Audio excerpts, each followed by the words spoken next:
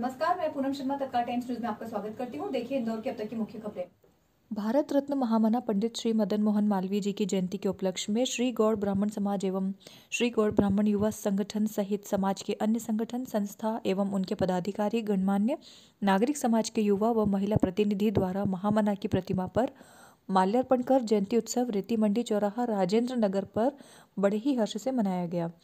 मुख्य अतिथि के रूप में क्षेत्र क्रमांक एक के लोकप्रिय विधायक माननीय पंडित श्री संजय शुक्ला जी, राव विधायक एवं प्रदेश मंत्री श्री जीतू पटवारी जी के छोटे भाई श्री भरत पटवारी जी, श्री बलराम वर्मा, मधु वर्मा, धीरज दुबे, ब्रजेश जोशी, मनोहर दुबे, श्रीमती रंजना पाठक, पूर्व अध्यक्ष एल एन जोशी, अंशुमन जोशी, प्रकाश नाइक आदित्य उपाध्याय और भरत मोदी ने प्रतिमा पर माल्यार्पण कर पंडित श्री मदन मोहन मालवीय जी को नमन किया। देखी रिपोर्ट।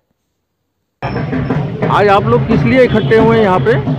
महा मना मदन मोहन मालवीय जी की आज पुण्यतिथि है और बड़े हर्ष की बात है कि श्रीगोड़ ब्राह्मण समाज इंदौर जिला इंदौर संभाग और बाहर से भी हमारे समाज जन यहाँ पर आए हैं और बहुत ही उल्लासित रूप से हमने ये बनाया है।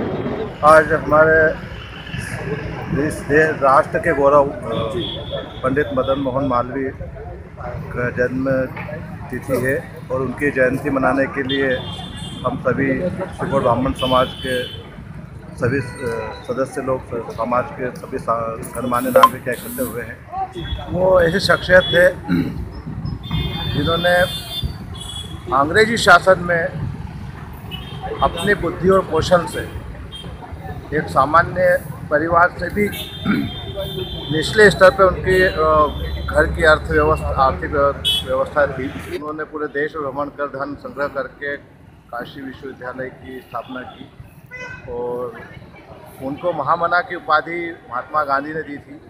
स्वतंत्रता संग्राम सेनानी भी थे। उनके जो आदर्श हैं उन आदर्शों पे पहले तो स्वयं चलने की कोशिश कर रहा हूँ और बाकी जो मेरे सब साथी हैं समाजजन हैं जो भी है वो भी अगर उनके आदर्शों पर चले तो ये एक राष्ट्र बहुत अच्छा बन सकता है। ये भारत रत्न महामना पंडित मदन मोहन मालवीय जी की जयंती आज उनकी जयंती है जन्मतिथि है। जी। वो प्रतिवर्ष इस महामना की प्रतिमा पर मनाई जाती है। जी। ये महामना की प्रतिमा श्री गौड़ ब्राह्मण समाज इंदौर ने इंदौर विकास प्राधिकरण के साथ मिलकर उनके सौजन्य से सन 2008 में स्थापित की थी और उन्हीं के महामना के जन्म दिवस 25 दिसंबर 2008 को इसका अनावरण हुआ था। तब से लगातार प्रतिवर्ष श्री गौड़ ब्राह्मण समाज के तत्वाधान में ये आयोजन होता है कि विश्व पुरुष थे उनके जो कार्य किए हैं जी।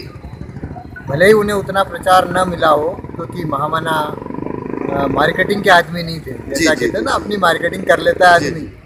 लेकिन उनके द्वारा किए गए कार्य उनका स्मारक आज बनारस हिंदू विश्वविद्यालय एशिया की सबसे बड़ी यूनिवर्सिटी है। मदन मोहन मालवीय जी। मदन मोहन मालवीय जी। मर रहे हैं। अब तक के लिए इतना ही बने रहिए हमारे साथ।